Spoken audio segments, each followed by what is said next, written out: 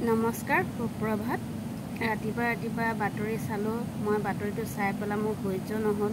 এতিয়া মোৰ কিছুমান আনলিগেল কথা ক'লে মোৰ একদম সহ্য নহয় মানে কি ক'ম আৰু। এতিয়া ধীৰেন্দ্ৰ নাথ শাস্তি নে কি তেওঁ ইমান কমটি বয়সতে বাবা হৈ গ'ল বিয়া নিজৰ সাংসাৰিক জীৱন এৰি দিলে। এৰি দিয়াৰ কাৰণে তাৰ ল'ৰা ছোৱালীও নহ'ল। সেইকাৰণে এতিয়া কি কৰিব উপায় নাইকিয়া হৈ গৈছে। এতিয়া হিন্দু ধৰ্মৰ মানে জনসংখ্যা কমটি মুছলিম ধৰ্মৰ জনসংখ্যা বেছি সেইকেইটা জাতি বাবাসকলে কৰে নি নাজানো অৱশ্যে। সকলো বাবাকতো তেনেকুৱা দেখা নাই। সকলো বাবা হয়তো ধৰ্মৰ কথা কয় বেয়া পথৰ পৰা আহি ভাল পথত আহিবৰ কাৰণে সেইকেইটা জ্ঞান দিয়ে। কিন্তু ধীৰনানা শাস্তি আহি পেলাই যেন ক'লে যাতে হিন্দু ধৰ্মৰ জনসংখ্যা কমি গৈছে মুছলমান জনসংখ্যা বেছি বাঢ়ি গৈছে। মই বাঢ়ি যোৱা আৰু কমি যোৱাৰ কথাটো কৈ দিছোঁ হা। তোমালোকৰ নিচিনা সকলো বাবা হৈ গ'লে আকৌ বিয়া কোনে কৰিব? বিয়া নকৰিলে জনসংখ্যা নাবাঢ়িব নহয়। যদি তোমালোকে যদি বাবা হৈ যায় তোমালোকৰ ল'ৰা ছোৱালীটো নহ'ব। বাবা নহ'বা।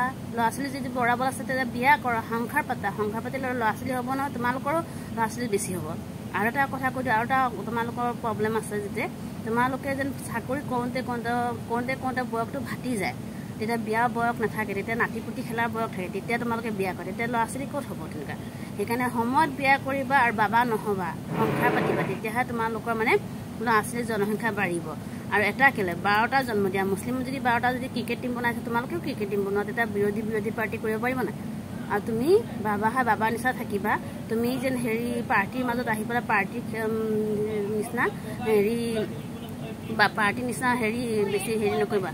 বুজিছে নাই? আৰু হিমন্ত মামাই কৈছে ভালে কৈছে বাৰু। তেওঁ মন্ত্ৰী হয় তেওঁ জনসংখ্যা কমাব লাগে বা হেৰি কৰিব লাগে তেওঁ গতি বচাব লাগে এইকেইটা কয় ভাল লাগে। আৰু তেওঁ বিয়া কৰে তেওঁ ক'লে যুক্তি হয়। তুমিতো বিয়া কৰা নাই তুমি বিয়া কৰি লোৱা না? বিয়া কৰি পেলাই তুমি হেৰি কৈছিলে সংখ্যা পাতা তাত ল'ৰা ছোৱালী হেৰি ভোটৰ তালিকা বঢ়াই দিয়া ভোটৰ মানে সদস্য বঢ়াই দিয়া তেতিয়া ভোট দিবৰ কাৰণে পাৰিব।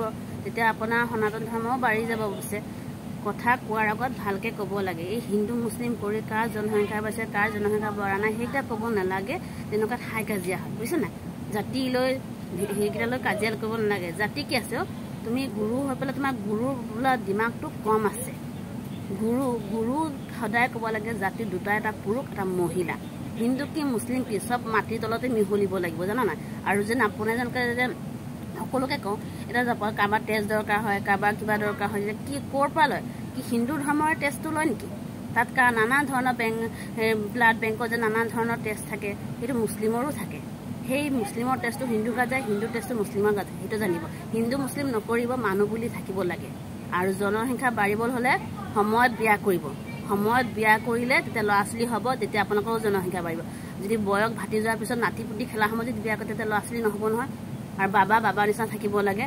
আমাৰ মুখ্যমন্ত্ৰী ডাঙৰীয়াই কৈছে তেওঁ মুখ্যমন্ত্ৰী হয়। তেওঁ ক'ব পাৰে তেওঁক ক'লে মোৰ কোনো আপত্তি নাই বাবা হয়কেইটা কোৱা যুক্তি নহয় দেই।